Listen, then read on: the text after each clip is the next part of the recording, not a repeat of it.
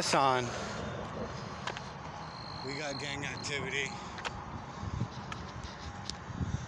I'm Not sure what city I'm in exactly, but I think it's Boerne.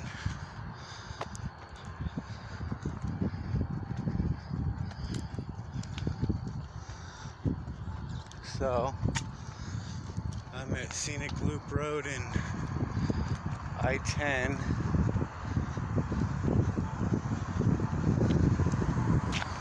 I don't especially like um,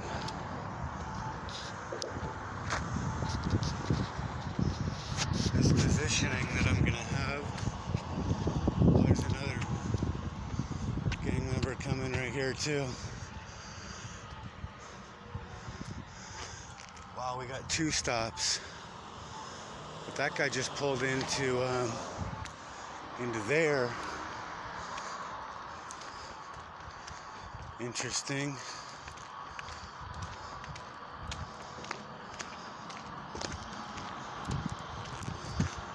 Think um, I'll get on the other side of this.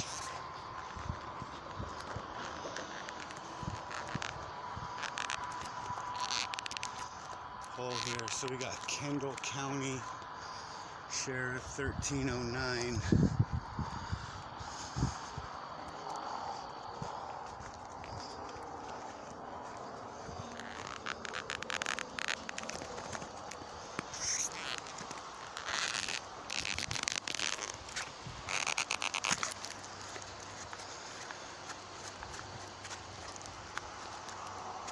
Looks like there's.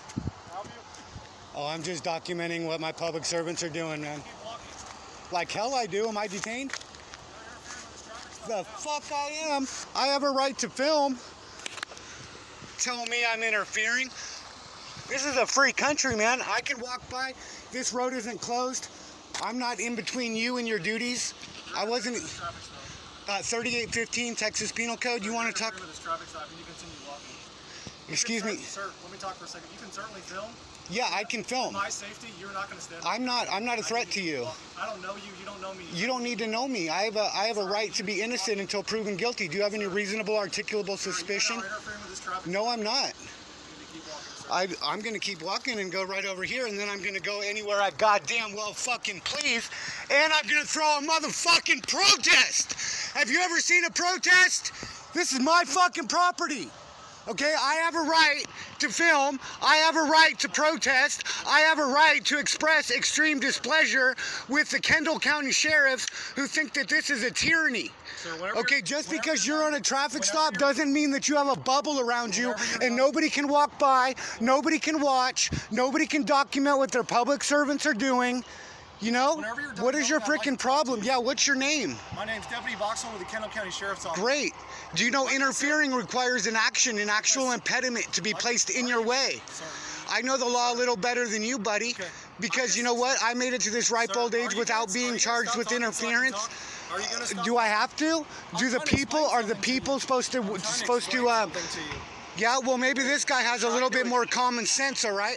Because just because he pulls somebody over doesn't mean that the people need to give a fuck. Look, I'm trying to Okay. I have a right to document what you guys are doing, and Healy, Heffley, whatever the hell it is, and uh, I don't like this what- freaking tyrant's attitude from the get-go. there was no Look at this string bean little puny Hey, look, pig-ass right now you're interfering with the Bullshit. 3815 Okay, requires an actual interfering. impediment. Either you walk away or go to jail.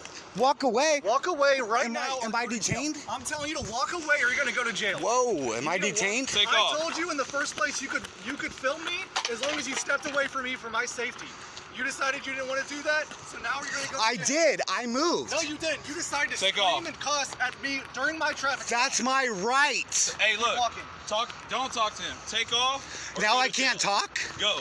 Now I wasn't going this way. All right. Well, you're going that way now. No, I'm not. I'm going back well, that way. Either go that way or go that way. If What- you say one more word or come up next to this traffic stop, you're going to go to jail for interference. So I don't have a right to speech? Look, man, you're testing my patience, okay? I'm telling you either take off or you're going to go to jail. Whoa, man. Let him keep walking. He Police, thank you, Boerne police.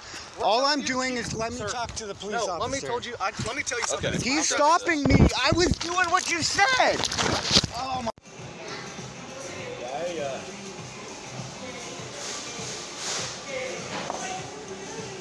that sir, first sick feeling. So, it is 646, and uh, it was 345 when I left the uh, concentration camp, but they insisted on taking me to the uh,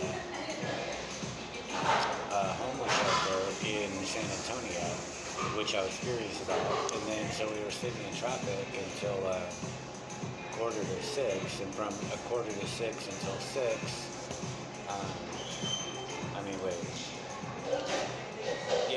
yeah, six, I uh, I just started raising holy hell with my First Amendment, demanding that he pull over and uh, let me out.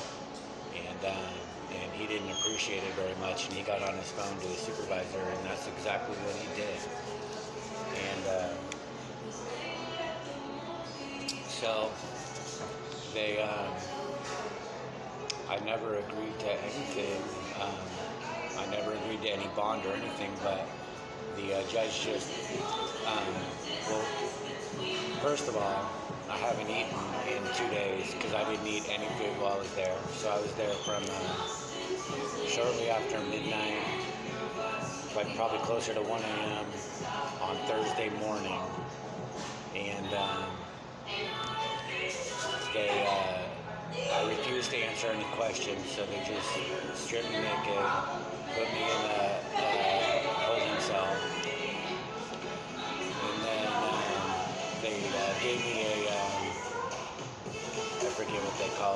just like a wrap kind of thing. Um, and then, um, but they wanted me to ask, answer all kinds of questions, which I refused to do. And um, so they were threatening me. They said I would be in there for 100 days if I didn't answer, and I'd never see the judge, you know? And um, so they kept coming in like every 30 minutes, just banging on the door and screaming and yelling uh, about me uh, answering the questions and yada yada. And then it, shortly after I was in there, they brought me a blanket, but then they took that away because I wouldn't answer the questions. There was no toilet paper, so it was a good thing I wasn't eating um, or drinking water. And uh, there was no way I was going to be in there 100 days, that's for sure. Uh, and um, so then today, um, they gave up on their nonsense about asking the question, answering the questions, but they uh, wanted to know if I wanted to go see the judge. And I was like, I you know, I'm not going to resist you, but, uh, you know. Um, and so they're like, well, get up. And I was like, well, I'm not going to resist you, but I'm not going to assist you. So they're like, do you want to see the judge or not? I'm like, I, you know, I don't have an opinion on it, right? And uh, so they brought the judge to me in, this, in my uh, concentration uh, camp. And um, the judge said he was going to set the bail at 2000 And um, I was like, well, what about a probable cause? You know, because there was no probable cause. And um, he's like, oh, I've decided that uh, there's probable cause, you know. And um, so I, I got in some words edgewise about uh, Hill versus Houston. Know, because it's for interference, so it's not really about uh, disorderly conduct or what my speech was per se, like Cohen versus California, but Hill versus Houston is a, is a good case on that. And um, he uh, decided to, uh, then he's like, well, what I'll do is I'll, I'll give you a PR bond. And I was like, well, I'm not agreeing to any bond.